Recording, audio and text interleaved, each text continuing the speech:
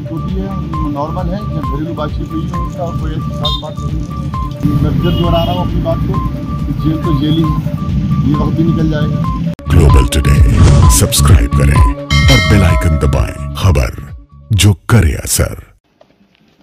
Samajwadi party के वरिष्ठ नेता आज़म खान इन दिनों अपनी पत्नी पूर्व सांसद तंजीन फातिमा और बेटे अब्दुल्ला आज़म के साथ कोर्ट से दोषी ठहराए जाने के बाद जेल की सज़ा काट रहे हैं। आज़म खान सीतापुर, अब्दुल्ला आज़म हरदोई और डॉक्टर तंजीन फातिमा रामपुर की जेलों में बंद हैं।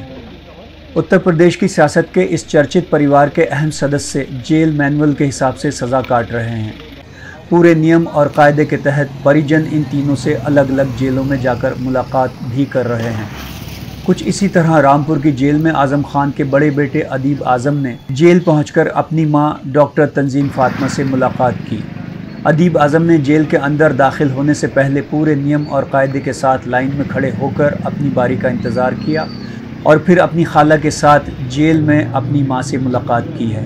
जेल से बाहर आने के बाद अदीब आज़म ने डॉक्टर तंजीम फातिमा के बारे में बताया कि वो ठीक हैं, लेकिन जेल तो जेल ही है। अच्छी है ना जैसी तबीयत होती है, नॉर्मल है जब घरेलू बातचीत हुई है उसका, कोई ऐसी खास बात हुई नहीं है।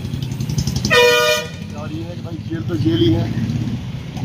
ये वक्त भी निकल जाएगा। मुलाकात हो गई। मुलाकात हो गई। क्या तबीयत ठीक चल रही है अब? मैंने कहा ना तबीयत तो ठीक है तबीयत ठीक है अच्छी है। तबीयत खैर तो है ही जेल तो मैं फिर दोहरा रहा हूँ अपनी बात को जेल तो जेल ही है। अच्छा।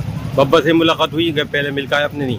तो बात आपको बताया तब आप लोगों को बब्बा से मुलाकात हुई थी मेरी पिछली बार और फिर सोच रहा हूँ जाने की। अच्छा और अब्दुल्ला साहब से? उससे भी सोच रहा हूँ मिलने की। मुलाकात करने की आज कौन कौन मिलना आया था आपके साथ मुलाकात करने? मैं हूँ मेरी खाला है। मुलाकात करके आ रहे हैं। क्या मैसेज देना चाहेंगे जेल से मिल कर रहे हैं?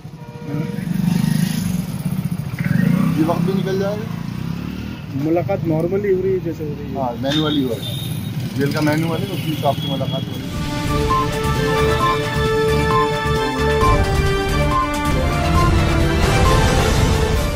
ग्लोबल टुडे यूट्यूब के साथ लाता है देश विदेश की ताज़ा खबरें और नए नए वीडियोस। हमें सब्सक्राइब करें और ताज़ा खबरों के लिए बेल बटन दबाएँ। Global Today